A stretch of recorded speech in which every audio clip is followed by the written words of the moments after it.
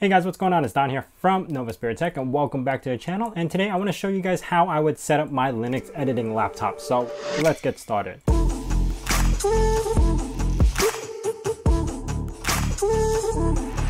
On my last video, Juno Computers actually sent me over the Neptune 15, which is a very powerful computer, especially for editing. So I decided to edit my last video on this computer, but I did have to set it up. So here's a time lapse of the complete process, but I will actually go through everything so you can see what I'm talking about. To begin, uh, you're gonna notice that this this is still GNOME and Ubuntu, but I just kind of changed the orientation a little bit by using dash to panel. So this looks like more of a Windows-esque task manager, and I like how this works. I just find it a little bit more productive than having like a little dock or something like that. But a lot of people, you know, swear by the dock, which is fine. I just like my style. I'm, I'm so used to this and I'm very comfortable in this arrangement.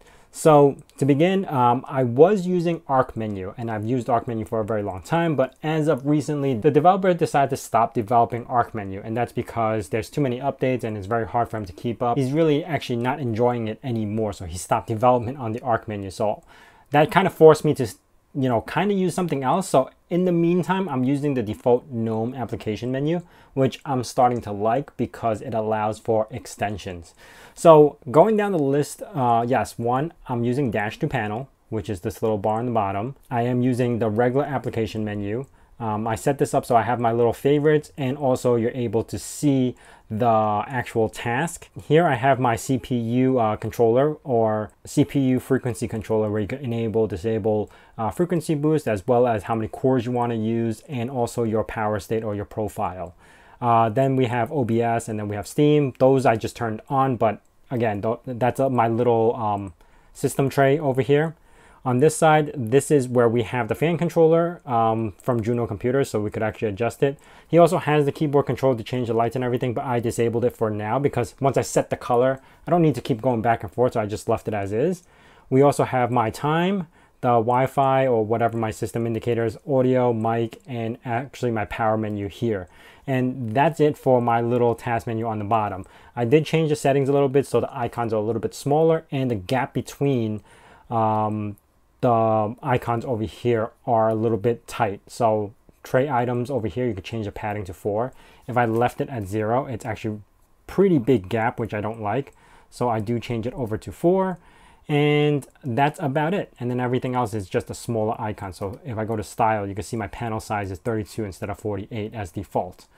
Now moving on, as far as my application goes, uh, one of the extensions that I did put in is actually called select prime or select um, dedicated graphic card. And I'll show you guys the extension in Firefox in a second. But what you can do with it is actually right click on any item and you can launch with dedicated graphic card. Because this has Intel and also a 2060 RTX in here, uh, I'm mainly using my Intel for the actual utilization of the computer, but the RTX could be activated this way so I could play games and stuff like that. So if I needed to use DaVinci Resolve or jump into Steam, I would need to use the dedicated graphic card option so I could play it on the RTX 2060. So with that being said, let's let's go over our extensions and see what we have over here. Let's go to tweaks and we'll go down the list. General, I have nothing here, just normal. Appearance, I did change it to the stock Yaru dark theme. So this is Gnome dark. So it's not like any extra theme that I put in. It's just the regular dark theme for uh, for GNOME. Wallpaper, I actually got from Wallpaper Flare, and this is probably the second one on the list right now. You probably see me use this a lot of times. And everything else I left as default uh, other than the dark theme.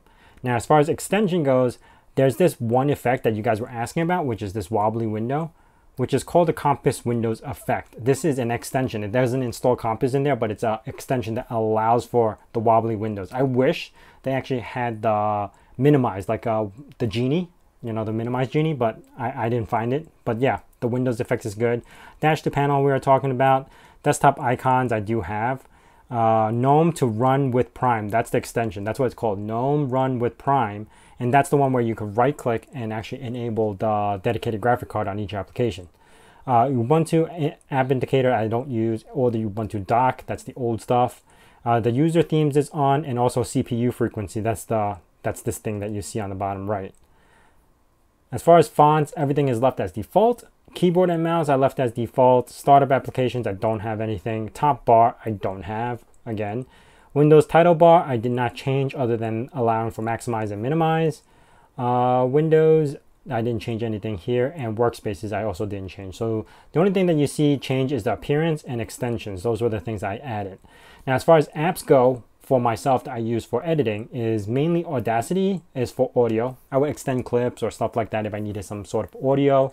Uh, I don't use it as much because DaVinci Resolve actually has its own little audio thing, but I do keep Audacity around if I do need to record like a quick sound effects or something. Uh, we have Re DaVinci Resolve, which is uh, the studio version. Epic Games if I want to play some games and I did just recently upload a video on how to install Epic Games on Linux so be sure to check out my gaming channel which I will have that tutorial up because I did have a tutorial on how to install Lutris did a tutorial how to install Steam so now it's for the Epic Game Launcher. Uh, moving down uh, we have OBS well obvious because I do screen capture and I'm using it right now to record this screen capture. Uh, this program which I also have a video for which is called PhotoGimp it's like a Photoshop, but with GIMP, but it retains all the hotkeys and all that stuff. So you're familiar with Photoshop and you memorize the hotkeys, like Control D will be deselect or something like that. That is all applied to Photo GIMP. So I'm actually more familiar in using uh, GIMP this way because I've used Photoshop for so long. Moving down the list, uh, I also have Steam, which is, uh, you know, that Steam game launcher, uh, Visual Studio Code. I have WinFF. WinFF is an amazing program if you guys haven't heard it. It's actually like uh, decoder for any format. So basically you could add all your video files here by hitting the add button. So whatever you got over here, and then you could convert them and push them out to whatever format you want. This is a huge program for me. Instead of having to use FFmpeg every single time, WinFF will actually do everything for me through one shot. So I don't have to remember what the whole FFmpeg line is. Okay, then moving down, uh, Remmina is the updated version because I always use remote desktop on Remmina. And Visual Studio Code, I think I just mentioned that before. And that's what I use to uh, write down my quick Python codes or anything that has to do with coding. As far as uh, some other programs I might not have installed that I might have forgot, which is Flameshot. Flameshot is, is an application to allow me to capture the screen or take screenshots and stuff like that. So that's another program I usually use, which I didn't, don't have on this guy right now. Ultimately, I got my video editor, uh, my graphic editor, which is PhotoGimp, DaVinci Resolve, and my audio, which is Audacity, but now I've evolved into using uh, DaVinci Resolve Studio. So those are the main programs that I would edit out a video. Then coding wise is VS Code and Notepad, you know, obviously, or whatever uh, text editor there is. And then for gaming, I either use Epic Game Launcher or Steam, mostly Steam, but the Epic Game Launcher now have so many free games that I've been playing, actually the Railroad Tycoon. No, not Railroad Tycoon, sorry, Roller Coaster. Roller Coaster Tycoon 3. That is it for this setup. I gotta say, uh, I'm gonna put up the benchmarking scores right here for both Tomb Raider and for the Unigine superposition. So for the past week that I've been using this, it's very, very comfortable. Now this is more of a desktop laptop than it is an actual laptop. To put this on your lap, you might even heat up your legs or something like that. But for our desktop laptop, it's actually very comfortable. The keys have a good travel, so I'm not I don't have any problems with typing on this guy.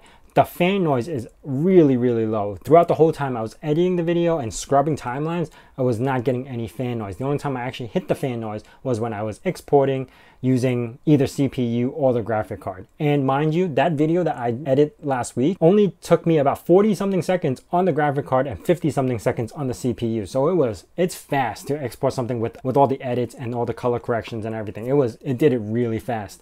Now, as far as gaming goes, it does kick up the fan as soon as you go into any game. Battery life, like I said in the video, I was getting about five to six hours and I am actually getting five to six hours. Um, normal usage, like browsing the web, watching some YouTube, maybe do a quick little edits here and there, but not really playing any games or anything. If you're gonna play games, plug it in. And yeah, that's about it. Anyway, if you enjoyed this video, please hit that like button. If you guys got any questions about this, hit it down in the comments below. And if you guys are new to this channel, consider subscribing. Also hitting that bell notification icon so you know when the next video is going to be out. And as I say in my nerd cave, hack till it hurts.